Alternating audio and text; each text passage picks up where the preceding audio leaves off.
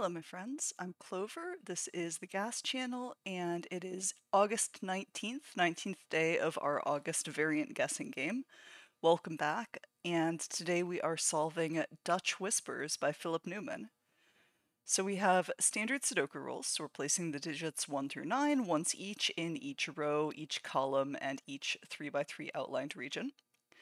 And then we also have Dutch Whispers. The Dutch Whispers rule says that digits that are next to each other connected by an orange line, for instance, this pair of digits or this pair of digits or this pair of digits, etc., have to have a difference of 4 or more. So we could put 2 and 7 there because the difference there is 5. We could put 2 and 6 there if we wanted to, assuming there wasn't a 6 in that box, which there is. Um, or alternatively, we could put, uh, you know, 3 and 9, etc., etc., but we couldn't put like 2 and 3 because those are too close together. Their difference is only 1. Now, the thing with Dutch Whispers to bear in mind is that 5 is the most valuable digit in a Dutch Whisper Sudoku. Um, 5 only has two numbers that it is at least 4 away from. Those are 1 and 9, which each have a difference of exactly 4 away from 5. And so whenever you see a 5 surrounded by two other digits that see each other, you know that those two other digits have to be 1 and 9. That is particularly interesting in Dutch Whispers because that's the only situation in this type of puzzle where your your high lowity of digits, so whether they're high or low, can actually change um, from low to medium to high, as opposed to just going low, high, low, high, low, high, as they will always do along the rest of the line. So for example, 4 here, there are two digits that have a difference of 4 or more with 4. Those are 8 and 9. So in this case, we're going to go high, low, high. There's an 8 right there, so that makes this a 9. And that unwinds some of this. 6 is similar to 4, it has to be between a 1 and a 2. And now if we look at the 7, there are three digits that are 4 away from 7. Those are 1, 2, and 3, but we've already used up the 1, so those will be 2 and 3.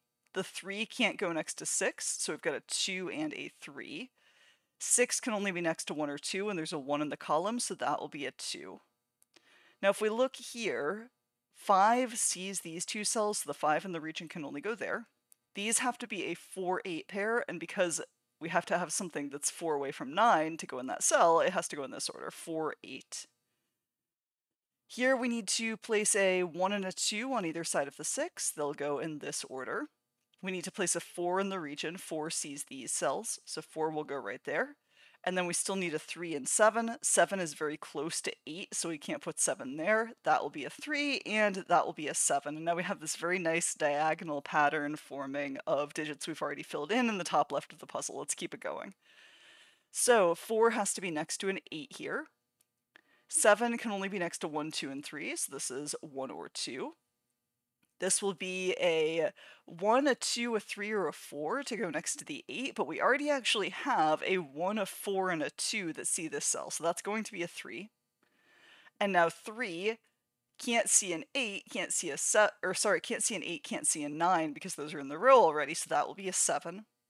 And then this needs to be either a 1 or a 2. The 2 in the column makes it a 1. The only remaining position for 6 in the region is right here. And then we still need to place 4, 5, and 9.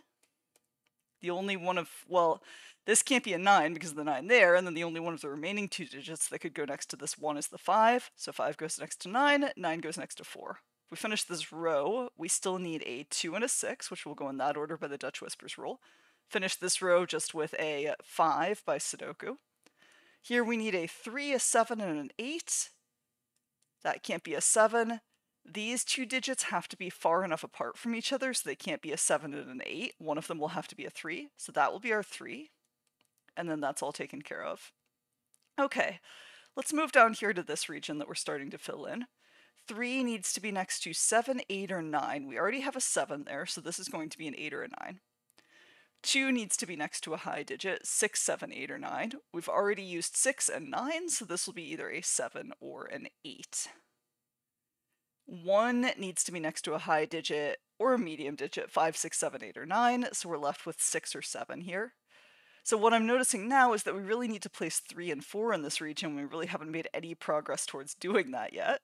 So where can we put three? Can't go in those cells, so that will have to be a three. And where can we put 4? Well, okay, right now we're alternating high, low, high, low, high, low. We know that's not going to change in this box because, as I mentioned earlier, the only position where that changes is when you have a 5. 5 in the box is already used. So here we're definitely going high, low, high.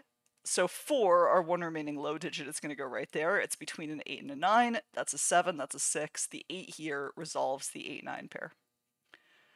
Alright, these will now be 2, 3, and 7. 7 can only go in that position, 2 can only go in that position. To finish this row, we need 4, 5, and 8.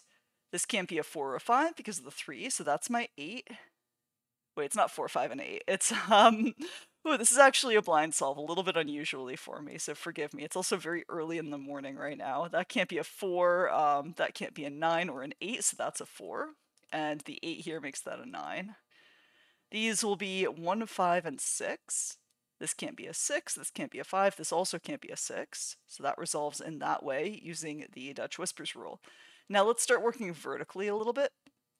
Here we're going to need a 3 and a 9. Here we're going to need a 5 and an 8, which resolves, and then the fact that we just placed a 5 there takes care of the other digits. Here we need a 1, a 4, and a 7. That's not a 7. This can't be a 1 or a 4. This must be a 1, so that's all resolved. To finish this column, we're going to need a 3, a 6, and a 9. This can only be a 3 to go next to the 7. This can only be a 9 with the 4, so that's all taken care of. Here we need 2, 5, and 8 by Sudoku, that finishes up because there are already some digits in our rows. Here we're going to need 1, 4, and 7. That will also simply resolve by Sudoku. Easy finish. Um, here we need 3, 6, and 9 by Sudoku. We are done.